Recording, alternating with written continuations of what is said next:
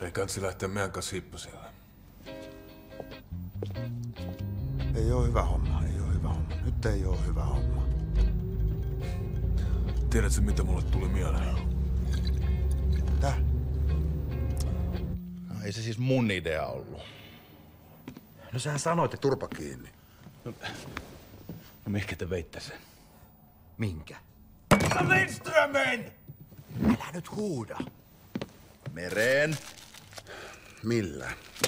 Veneellä. Kenen? Ja vittu kenen kenen? Lindströmin! Eiku kenen veneellä? En mä tiedä kenen se oli. No me londattiin se merisatamasta, mutta me, me vietiin se kyllä takaisin. Melkein sama laituri. No eihän ne nyt osaa meitä siitä yhdistää. Te ootte saatana nyt hiljaa. Voisit sä sanoa Karille, että se sanoisi edes oman nimensä? Tai jotain. Edes päivää. Siltä on varmaan turha odottaa, että se kertoisi, mitä se teki viime tiistai-iltana.